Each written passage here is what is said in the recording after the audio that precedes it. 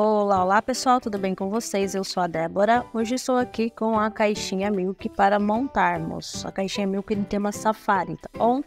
Nós fizemos a arte através do Canva e a impressão eu fiz no papel com brilho fotográfico de 180 gramas, tá bom, pessoal? Eu deixei sem o personagem aqui para deixar ele alto relevo, tá bom? E a dica que eu vou passar para vocês inicialmente é pegar um pedacinho de EVA, vou posicionar a caixinha, posiciono a régua também na linha que eu gostaria de vincar eu vou usar uma lapiseira, pessoal. Minha tá bem velhinha, mas não tem o grafite, tá bom? Analisa a ponta dela para ver se dá certo para fazer isso ou não. Testa aqui num pedacinho de papel para verificar se vai dar certo. Ó, eu fazendo esse teste aqui, ele funciona. Deixa eu mostrar para vocês. Fiz a marcaçãozinha em cima do EVA e ficou assim, ó. Ele consegue fazer o vinco aqui para mim. Pode ser uma caneta sem carga também, né? Você pode utilizar a costa do estilete. A minha tá um pouquinho áspera aqui hoje, mas eu poderia usar a costa do estilete, passar dessa forma, né? Não no sentido da lâmina, mas aqui atrás. Ou alguma tesoura menorzinha que você tenha que dê para fazer esse vinco, tá bom? Eu vou usar aqui a minha lapiseira, né? Existem boleadores para isso, você poderia utilizar algo fino que vá passar certinho em cima da linha. Então, eu vou posicionar aqui certinho e vou passar meio inclinado assim mesmo, meio deitado, não assim em pé, tá? Eu vou passar aqui, ó, uma vez, pressionando. E vai ficar assim, ó, ele não vai agredir o papel, rasgar aqui por cima, nada, ó. Fiz essa marcação aqui e agora é só dobrar, ó. Eu dobro bem mais tranquilo né? E fica uma dobra bonita, não fica uma dobra, uma dobra quebrada igual tá aqui, ó, na parte branca. Aqui fica uma dobra bonitinha, tá? E eu vou seguir aqui na próxima parte também. Vou fazer esse vinco bem certinho em cima da linha, com a lapiseira mais na posição deitada. E pressiono aqui, ó ele fica um vinco certinho, fica bem marcadinho e facilita na hora da dobra. É só dobrar que ele já faz esse formato. Fica com um acabamento legal aqui do que eu viesse aqui e dobrasse somente, tá bom? E eu vou seguir assim, fazendo todos os vincos de todas as linhas da caixinha. Somente aqui que é opcional, tá bom, pessoal? Essa região aqui, que faz esse triângulo. Porque no momento da dobra, ele não precisa estar tá vincado totalmente, tá? Mas o restante precisa vincar.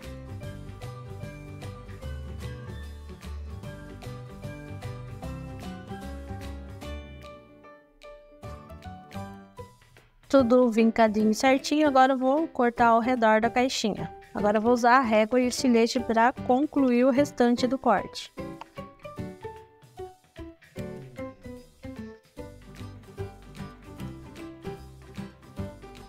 Nessa região eu vou posicionar a reguinha, vou passar ela aqui e aqui. Até chegar aqui no limite onde será o vinco. E aqui na parte de cima também. Agora eu vou pegar minha tesoura para fazer essa voltinha que tem da caixinha. Que eu vou dobrar um pouquinho essa região e vou tirar essa pontinha aqui. Vou tirar esse excesso desse lado também. Vou dobrar um pouco a minha caixinha dessa forma para cortar só essa região aqui, ó. Depois eu tiro aqui esse pedacinho que ficou. Essa região da minha caixinha eu posso dar um cortezinho com a tesoura também, ó. Aqui e aqui. Agora eu venho com o estilete para tirar o restante desse papelzinho que ficou.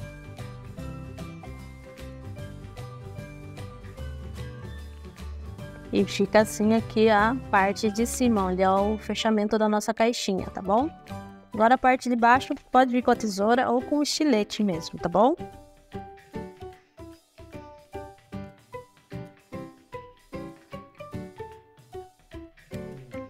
Finalizamos aqui o corte da nossa caixinha, ficou bem cortadinha, bem vincadinha. Agora é só colar a parte da lateral. Agora eu vou colar com a colinha branca.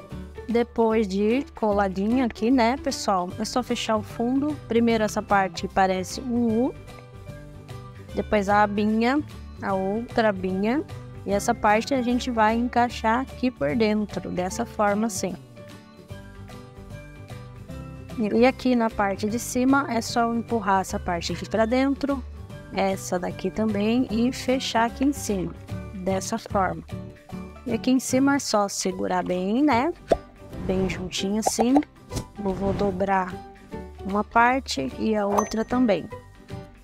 E vou fazer esse encaixe aqui, esse abraço desse papel aqui atrás. Pra ela ficar fechadinha dessa forma. Então aqui a parte de trás, a minha caixinha. Ficou bem bonitinha essa caixinha, né, pessoal? Aqui a lateral, aqui será a frente, a outra lateral. Aqui embaixo vocês podem colocar a marca de vocês, contato, redes sociais também é legal. Então vai ficar assim, na parte da frente o leãozinho e já colei ele aqui em alto relevo, né? Coloquei três camadinhas, a primeira camada do, do leãozinho e aqui atrás é um papel craft, tá bom? Aí eu posso variar o leão, né? Posso colocar ele em uma das laterais, né? E optar por trocar o animalzinho aqui da frente, ó, o hipopótamo, de repente eu coloco um tigre, olha que belezinha que vai ficar também. A girafinha, vai ficar linda também. Aí eu tiro a girafa daqui para não ficar repetido, né? E coloco um formatinho do leão ou tigre, né? E nós podemos complementar essa caixinha, né, pessoal? Aqui eu tô utilizando, aqui eu tenho uma fita de cetim, nessa cor meio ouro, né? E esse cordãozinho de rami Fiz um laço, que é uma fita larga que eu tenho aqui, então ela tem que ter uma espessura legal. A espessura dessa fita aqui, ó, 4 centímetros mais ou menos. Pode ser também uma fita de juta, né, pessoal? Um tecido de juta que você possa cortar e fazer assim dessa forma vai combinar bastante. Eu tenho um tomzinho de verde que eu achei bonito, mas não tinha a espessura suficiente dele, né? Mas cairia muito bem também um tomzinho de verde aqui. Eu até coloquei um impresso de uma patinha aqui no meio para dar um tchan, mas esse tom de verde ia combinar bastante com a nossa caixinha. Tenho aqui também um tomzinho de verde mais clarinho, que daria para encaixar nessa arte também, ó. Vai ficar bem bonito também. O que nós podemos usar também é o cordãozinho de rami, que é esse daqui. Eu acho ele mais molinho que o sisal. O sisal ele é mais resistente, pelo menos essa marca que eu comprei. Um tomzinho de azul também cairia bem. Até coloquei um estrazinho aqui na pontinha do laço, né, que combinaria também para fazer esse acabamento, né? O azul também ficaria bonito nessa caixinha, né, pessoal? De repente você pode optar por fazer esse acabamento no marrom, né? Eu acho que num cetim de marrom, uma fita de gorgorão também. Só que dá mais grossinha, né, pessoal? Marronzinho também ia cair bem aqui. Ou laranjinha mesmo, né? Eu também fiz um laço duplo aqui porque não tinha um de uma espessura mais larguinha como esses daqui. Também ia cair muito bem laranja aqui, não? Ia dar um contraste super bonito na nossa caixinha. Para colocar no laço, pessoal, conforme vocês viram aqui, eu fiz impressão e recorte de, de tagzinha, de patinha, né? Que eu poderia usar para fazer um acabamento no laço. Ia ficar legal também, né? Então posso usar isso como opção, que é uma opção mais econômica. Posso usar os botões para fazer o acabamento. Aqui não tem nenhum laranja, tenho mais o azul, mas daria para fazer um acabamento com um botãozinho também. Eu tenho aqui outro estilo de botão que daria para usar para fazer esse acabamento no laço, né? Ia ficar legal. Tem meia pérola, só que dessas maiores também iria dar certo. Essas pedrarias são chamadas de, de chaton, né, pessoal?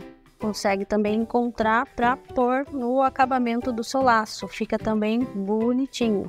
Esse daqui eu gostei da parte de trás, que é dourado. Poderia fazer o acabamento dourado também. Ia ficar legal. Então há diversas opções para diversos tipos de, de orçamento para fazer esse acabamento. Eu achei aqui na minha pedraria até essa coroinha bem bonitinha, daria para fazer o acabamento no laço dessa forma, ou até mesmo colocar uma coroinha aqui ó, no leãozinho ia ficar bem elegante também, né? De repente tirar daqui, aqui colocar uma patinha, né? E aqui uma coroinha ia ficar bem bonitinho, deu certo o tamanho da coroa. Então, assim, nós ficamos com um modelinho que o pessoal gosta de chamar de 3D, né? Esse que a gente faz alto relevo. E também nós podemos desenvolver, pessoal, ao invés de tirar o leãozinho para cortar ele separado e colar aqui, a gente pode fazer a impressão dele já na caixinha, tá bom? E outra dica que eu passo a vocês, pessoal, se for para montar um portfólio de algum produto para vocês começarem a vender, a dica é mantenha seu produto desmontado, pode deixar desmontadinho assim, com o acabamento feito, né? E você pode utilizar uma pasta dessa, uma pasta sanfonada dessa daqui, ó, para impressos A4 dá certinho aqui, né? O tamanho dela, até tem um espaço aqui sobrando, né? daria para você fazer é pegar as caixinhas que tem mais saída, que o pessoal procura mais para ver pessoalmente, qual que é o tamanho, o que que serve. De repente você monta uma pastinha dessa com diversos itens de diversos formatos, na verdade, para que você tenha um catálogo aqui físico, né? Mostrando pro seu cliente como é que fica, já mostra a qualidade da sua arte, tudo certinho tá bom? Então eu indico essa pastinha aqui, ou pode ser aquelas de plástico mesmo, que vai atender ao propósito, tá bom? Fica como dica também para vocês, se vocês acharem interessante fazer dessa forma, um catálogo que a pessoa pode ver com a mão. Bom, pessoal, era isso que eu gostaria de compartilhar com vocês. O corte, o vinco e a montagem da caixinha Milk no tema Safari Baby. Olha só que belezinha aqui ficou a nossa caixinha com o um acabamento pronto. Era isso que eu gostaria de compartilhar com vocês. Espero que tenham gostado das dicas de montagem. E é isso, pessoal. Agradeço a companhia no vídeo de hoje e até o próximo episódio. Beijo, galera. Valeu. Tchau, tchau.